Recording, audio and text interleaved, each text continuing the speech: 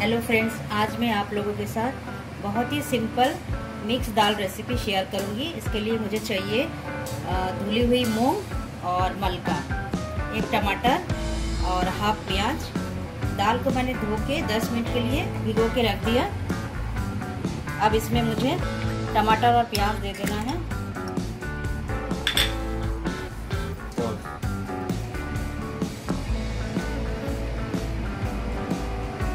अब मैं इसमें मसाला डालूँगी।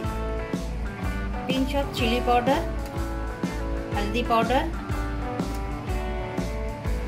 जीरा पाउडर, धनिया पाउडर। सॉल्ट अभी नहीं डालूँगी, जब पक जाएगा तब डालूँगी। इसमें मैंने आधा कप पानी ऑलरेडी दे दिया था भिगोने के लिए और मैं थोड़ा सा पानी दे देती अब मैं इसको दो सीटी देकर फिर आपको दिखाती हूँ।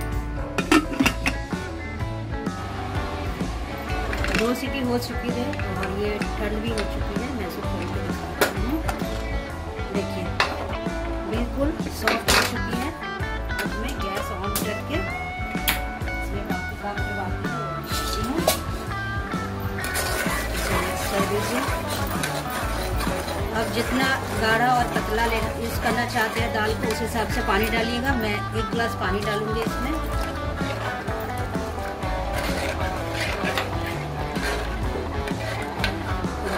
बिल्कुल भी कुकिंग रहना नहीं चाहिए इसका अंदर। अच्छा से मैश कर दीजिएगा। अब इसमें मैं सॉल्ट डालूँगी। वन स्पून सॉल्ट ये अच्छा से उबल जाए, फिर मैं तड़का दूँगी।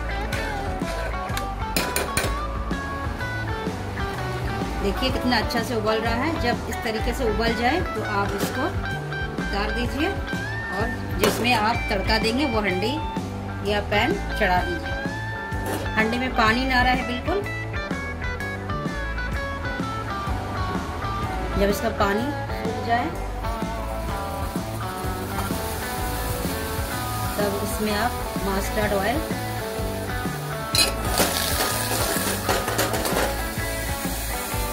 दे दीजिएगा।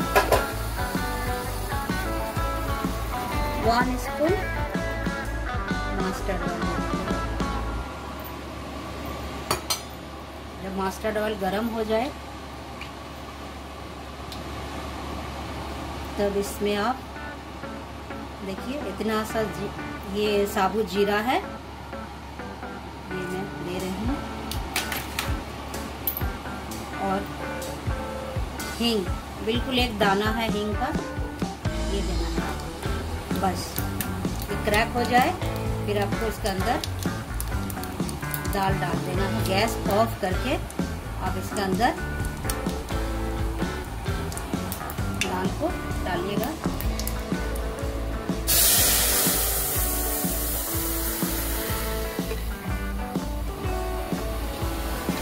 अब मैं आपको सर्व करके दिखाती हूँ। हमारा मूंग मलका दाल रेडी है। गरम गरम राइस और चपाती, नान रोटी। किसी के साथ भी आप सर्व कर सकते हैं। बहुत टेस्टी छोटे बच्चे को सूप जैसा दीजिए। अगर आप लोगों को मेरा रेसिपी पसंद आए तो लाइक सब्सक्राइब कमेंट्स ज़रूर कीजिए। Thanks for watching